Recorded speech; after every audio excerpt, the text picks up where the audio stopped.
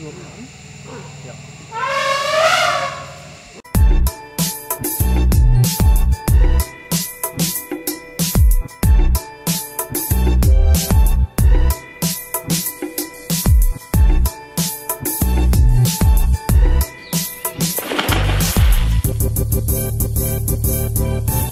Morgen. Guten Morgen.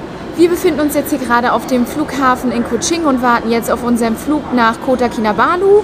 Und von dort aus fliegen wir dann nach Sandakan. Das heißt, wir sind heute einen halben Tag unterwegs oder eher gesagt, wir kommen am Abend erst in Sandakan an.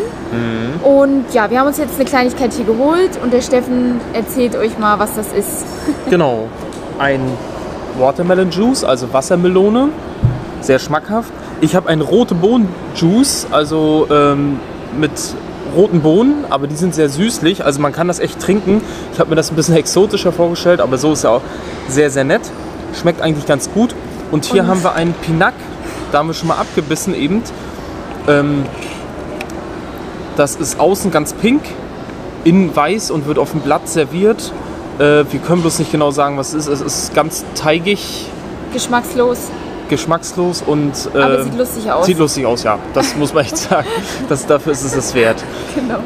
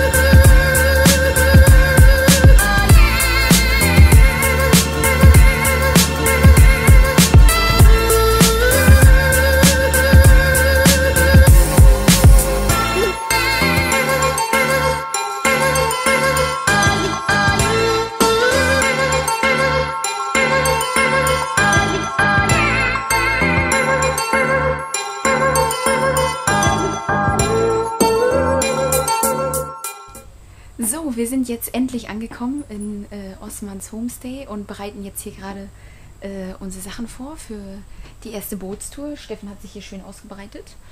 Äh, genau, und jetzt geht's gleich los und wir sind schon richtig gespannt und freuen uns ganz doll äh, und hoffen auch, dass das Wetter mitmacht, denn es gewittert ganz schön doll im Hintergrund und äh, es hat auch geregnet die ganze Zeit. Also wir hoffen, dass es gleich trocken ist, wenn wir losfahren. Endlich waren wir genau an dem Ort wieder zurück, nachdem wir uns so lange sehnten, an Borneos längsten und wahrscheinlich wildesten Fluss, dem Kinabantangan. Und der Kinabantangan ist ein wirklich sehr guter Ort, wenn man viele verschiedene Tiere sehen möchte. Das Ganze hat leider auch einen sehr faden Beigeschmack, denn man sieht die Tiere auch nur so gut, weil sie letztendlich sehr wenig Lebensraum hier zur Verfügung haben.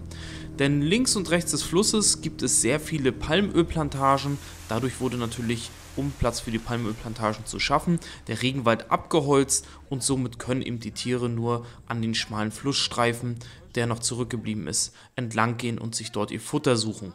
Trotzdem ist es ein hervorragender Ort, um viele verschiedene Tiere zu sehen und deswegen steuerten wir zusammen mit unserem Guide Osman und einigen anderen Touristen auf eine Palmölplantage zu, denn Osman hatte gehört, dass sich dort einige Elefanten aufhielten. An diesem Tag sollte es auch gar nicht so schwierig sein, die Elefanten zu finden, denn der ganze Weg war voller Kothaufen und somit mussten wir dieser Spur nur noch folgen. So, Osman, what do you think? How many uh, elephants are here? This is big group. A big group? Yeah, around 80. Wow, okay. Osman erzählte gerade, dass ungefähr 80 Elefanten in diesem Teil der Plantage unterwegs sind und schon sahen wir auch immer die ersten Elefanten, zwar noch weit entfernt und so ein bisschen versteckt unter den Palmen, aber immerhin die ersten Elefanten haben wir gefunden und somit mussten wir der Spur einfach nur weiterfolgen.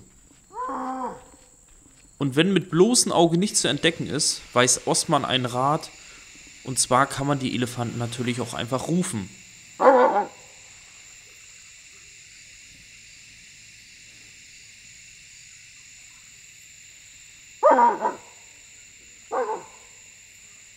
Und ab und zu, wenn man etwas Glück hat, antworten die Elefanten auch recht schnell.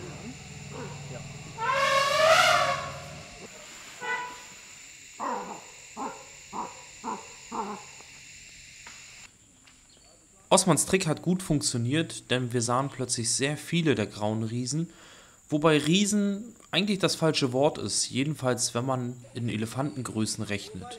Denn der Borneo-Zwergelefant der ist lediglich 2,50 Meter groß und damit durchaus noch das größte Tier auf Borneo, aber für Elefantenverhältnisse ist er wahrlich ein Zwerg.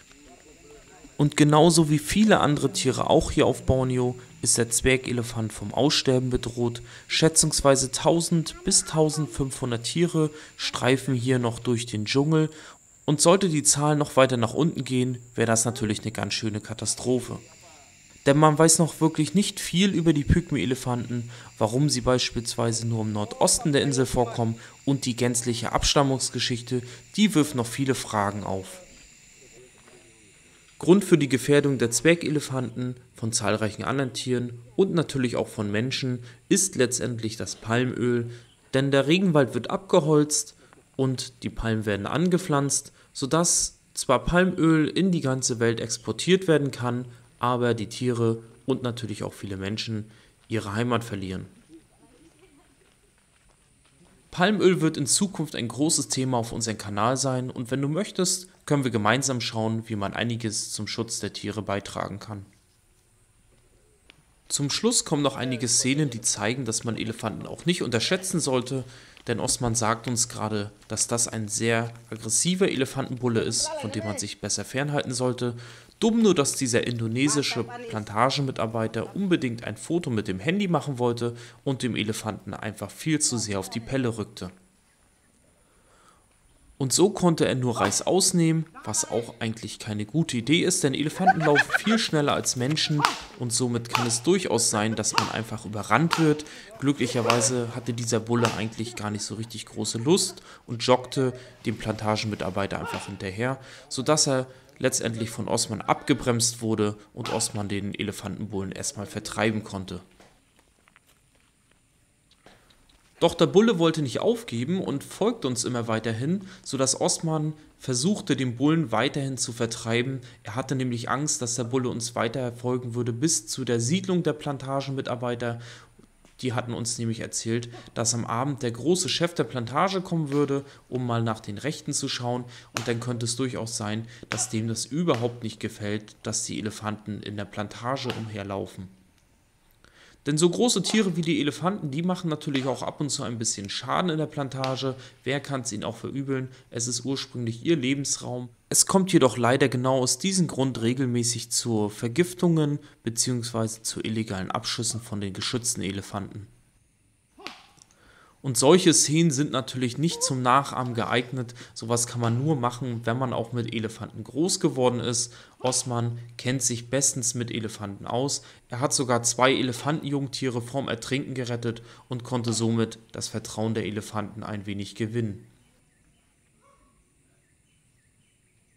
Allgemein ist Osman nicht einfach nur ein Guide, der Touristen zu den Elefanten oder zu anderen Tieren führt, sondern er liebt diese Tiere, er liebt die Natur am Kinabandagan und er versucht auch, sein kleines Paradies dort vor Ort zu schützen.